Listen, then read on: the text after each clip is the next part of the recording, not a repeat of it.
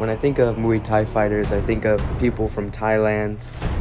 I think of their pride in their combat sport, and I think of how they feel about other people practicing Muay Thai.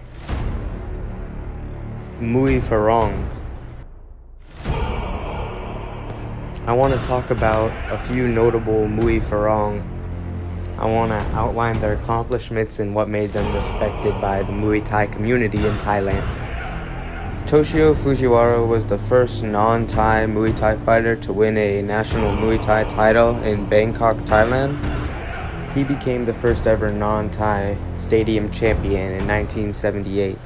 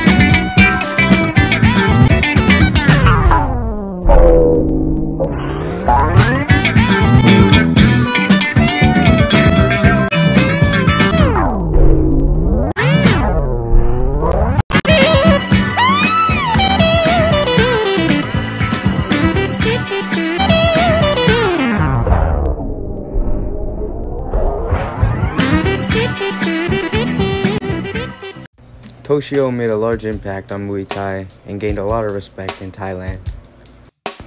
Dany Bill is a seven-time Muay Thai world champion. He had his first fight at 14 in France where he grew up, and by the time he was 15, he was the French Muay Thai champion. In 1993, he was the first European fighter to win the world title in Bangkok. Dany Bill has retired twice and came out of retirement twice and is currently a trainer.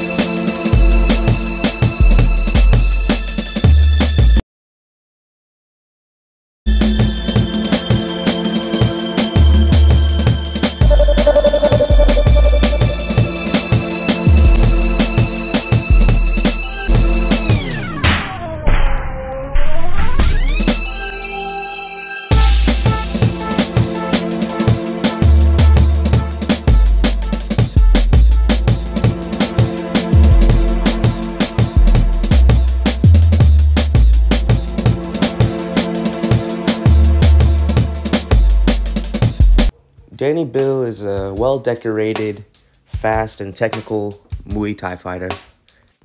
Ramon Dekkers is likely the most famous non-Thai Muay Thai fighter in the world. Ramon was known for his willingness to go to Thailand to fight their top fighters. In 1990, he would defeat the Thai Lumpini Stadium champion. Ramon would fight some of the best fighters Thailand has to offer, and he would cement himself as one of the best non-Thai fighters in the world. His aggressive, explosive fighting style helped him grow in popularity.